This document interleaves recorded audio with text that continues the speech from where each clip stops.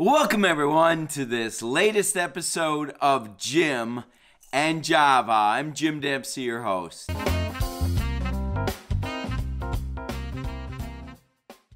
Well, welcome everyone. It's good to have you back again this week. I'm excited to be able to bring you fundraising tips and answering your fundraising questions.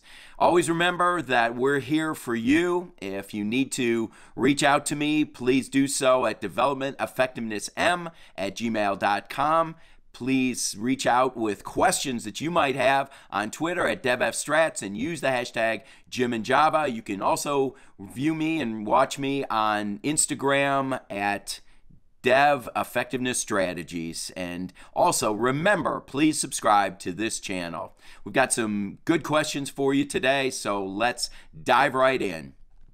Our first question today is from Matt in Atlanta, Georgia. And Matt asks, do you always ask on an appointment or do you wait to let the relationship develop?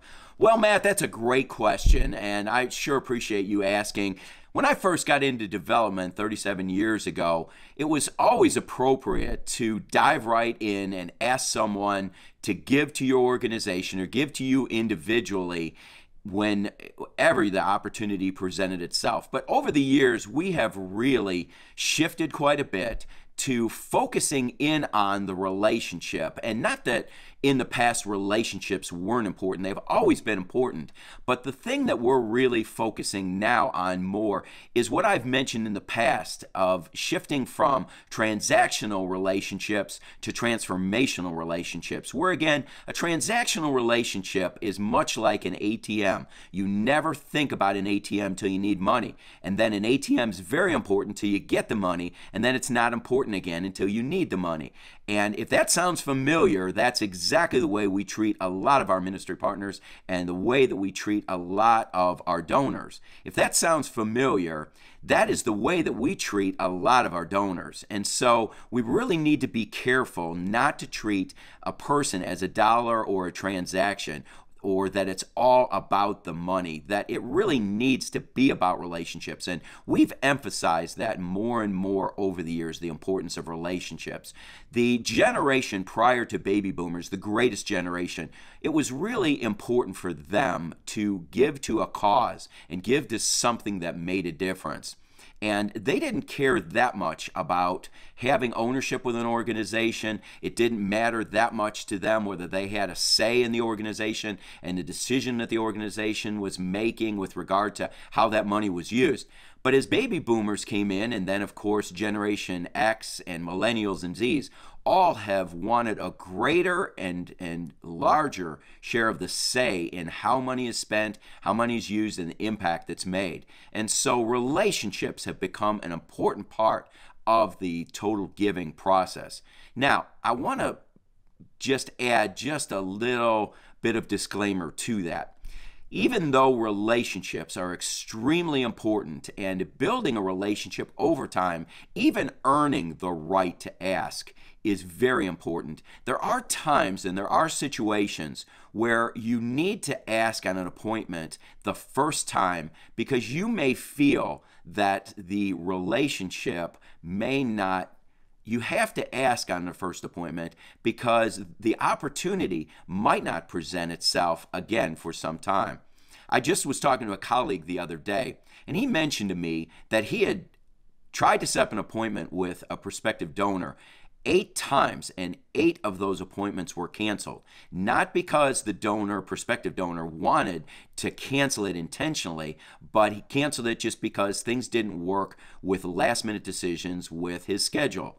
But on the ninth appointment, they actually got together. And my colleague really used his best judgment. And he's been doing this for a while.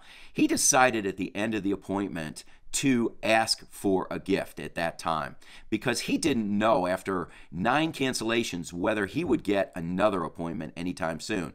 Now, I will add a caveat to the caveat on this one is that in, in an hour and a half appointment that he had, he spent over an hour just listening to this individual share his life story, share all the things that he's been through, all the things that he's dealt with in his life. He found out what kind of organizations that he likes, what kind that make him weep and pound the table. So my colleague got a lot of information on that first appointment from the individual, really to the point where he felt that it was the wise decision to make an ask at that time. So sometimes you just need to use your best judgment on when to ask. We're just we've felt as a as a whole, it's always going to be best to, in a sense, court the the relationship, have a courting time where you don't just dive in in the very first couple meetings and ask for money. But there's a point, number one, where you do need to just draw the line and finally ask. Once you feel like the prospective partner is there and they've they've they're at the point where you two are on the same page and you can ask. Uh, but there's times when it will take less time to earn that right to ask. It will take more time and there's times it'll take longer time. And um, there are times that it will take less time to earn the right and then there'll be times it will take longer time to earn that. And my colleague is an example really used his best judgment and felt like it was most appropriate to ask on that appointment. So, Matt, to answer your question, I would have to say to a degree it really depends on your situation and the relationship that you've begun to develop with the person.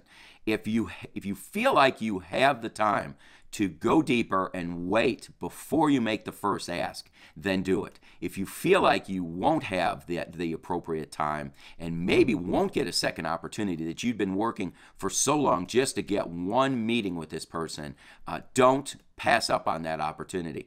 Now, when I say that it's important to develop the relationship, don't do that just because you are afraid to ask or that asking is very difficult for you because early on in my career, I learned that I've, I've caught myself making excuses for why I wasn't asking people for money.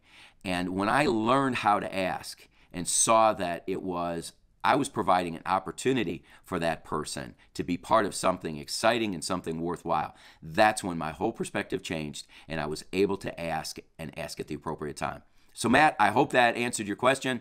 Uh, that ends our broadcast for today. Thank you so much for tuning in once again. If you've got questions, reach out to me at DevEffStrats on Twitter and use the hashtag Jim and Java. If you've got specific questions that you want to answer me that might be a greater length, you can go out to developmenteffectivenessm at gmail.com. Watch me on Instagram at Dev Effectiveness Strategies.